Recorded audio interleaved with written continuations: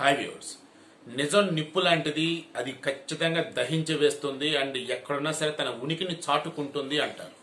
కారణం ఏంటో తెలుసా అండి? ఒక గ్రూప్లో పది మంది ఉన్నారనుకుందాం. ఆ పది మంది ఒక పనికి మన పని చేశారనుకుందాం.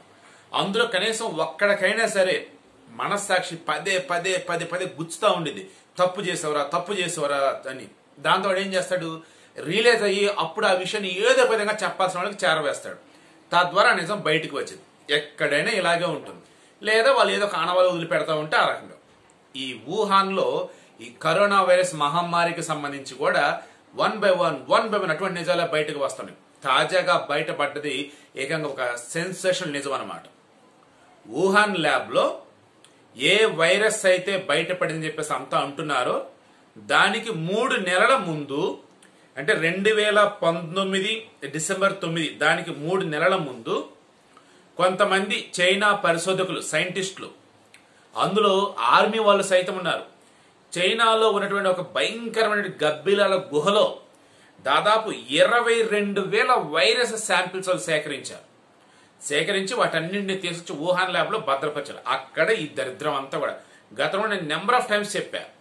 ఇది వాంటెడ్గా వాళ్ళు తయారు చేసే కరెక్టే. కానీ కావాలనేది ప్రపంచం మీద వదలలేదు. వాళ్ళు రీసెర్చ్ చేస్తున్న టైంలో లీక్ అయింది అది అన్న. ఎగ్జాక్ట్గా అదే జరిగింది. వాళ్ళు ఆ వుహాన్ నియర్ బై ఉన్నటువంటి దానిలో గబ్బిలాల గుహ ఎక్కడైతే ఉందో అక్కడ ఈ చైనా పరిశోధకులు అండ్ సైంటి సైనికులు ఆర్మీ వాళ్ళు వీళ్ళంతా కలగలిపి ఆ గుహలో ఉండే పరిశోధన చేస్తామన్నది ఏదైతే ఉందో ఆ వీడియో లీక్ అయింది. అప్పుడు ఇక అసలు నిజాలు one by one one by బయటకు వస్తున్నాయి. ఇక ఆల్రెడీ ఆ బృందంలో షీ జంగ్లీ అని ఒక ఆమె ఉంది. ఈమెని బ్యాట్ ఉమెన్ అంటారు. ఈమె ద్వారా కొన్ని కీలక విషయాలు కూడా బయటకు వచ్చాను తర్వాత doctor Peter Daszak. So Peter doctor Peter ఇతను వచ్చేసి ఈ వుహాన్ ల్యాబ్కి కి ఉన్నటువంటి వ్యక్తి పరిశోధనకు సంబంధించి. ఇతను ఏమంటాడు? ఎట్టి పరిస్థితుల్లో వుహాన్ ల్యాబ్లో అయితే మ్యాన్మేడ్ కాదండి అంటాడు. కానీ చైనా విషయాలు మనం కొట్టి పారేయలేము. దర్ ఇస్ అ పాసిబిలిటీ అని చెప్పేసి ఇప్పుడు రియలైజ్ అవుతున్నాడు. అంతకుముందే అసలు ఒప్పుకోవాలా? ఎప్పుడైతే ఈ గబ్బిలాల గుహలో వీళ్ళు శాంపిల్స్ కలెక్ట్ చేశారా బాబు చూడంటే right there is a possibility అని చెప్పారు తర్వాత రెండు వేల పంతొమ్మిది డిసెంబర్ తొమ్మిదిన ఇక్కడ వైరస్ సంబంధించి ఫస్ట్ డిటెక్ట్ అయింది కదా?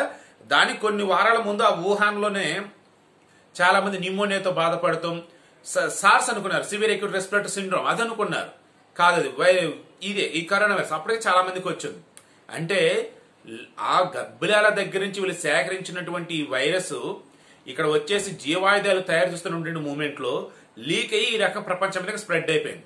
ఈవెన్ అక్కడ ఉన్నటువంటి వాళ్ళకి స్ప్రెడ్ అవటం వల్ల వచ్చిందన్న విషయం ప్రపంచానికి తెలియజేస్తే ఇంత సమస్య ఉండకపోదును. అప్పుడు ఎక్కడ వాళ్ళు అక్కడ ఎక్కడ వాళ్ళు అక్కడ బంద్ పెట్టేసి ముందు అక్కడ వుహాన్ అదంతా కూడా క్లియర్ చేసుకునేవాళ్ళు. ఇప్పటికీ వుహాన్ ఒప్పుకోవట్లేదే. చైనా వాడు ఒప్పుకోవట్లేదే. కానీ ఈ వుహాన్ ల్యాబ్ థీరీ ఏదైతే ఉందో లీక్ అయినటువంటిది ఏ రకంగా లీక్ అయింది ఏంటని చెప్పేసి one by one one by one ఎన్నో బయటికి నిజాలు వస్తున్నాయి. అటువంటి నిజమే ఈ గబ్బిలాల గుహలో చైనా సైంటిస్టులు అదేవిధంగా ఆర్మీ వాళ్ళు ఆ గబ్బిలాల దగ్గర ఉండేసి రీసెర్చ్ చేస్తూ ఒక వైరస్ సేకరించడం ఆ తర్వాత వుహాన్ ల్యాబ్ పట్టరావడం వుహాన్ ల్యాబ్ పట్టుకొచ్చిన తర్వాత ఎన్ని వైరస్ శాంపిల్స్ కలెక్ట్ చేశారు? అండ్ ఆ తర్వాత ఇష్యూ ఏమైంది ఏంటనేది కూడా మొత్తం డేటా అంతా కూడా ఆన్లైన్ కాకుండా ఆఫ్లైన్లో పెట్టించారు. అంటే అక్కడ ఉన్నటువంటి ఎవరో ఒక మంచి వాళ్ళు ఏం చేస్తున్నారు? ప్రపంచానికి నిజాలు తెలియదు లేదంటే ప్రపంచం అంతమైపోయిందని చెప్పేసి వాళ్ళు భయపడిపోయి one by one one by one ఏదో ఒక విధంగా ప్రపంచానికి అందిస్తూనే ఉన్నారు.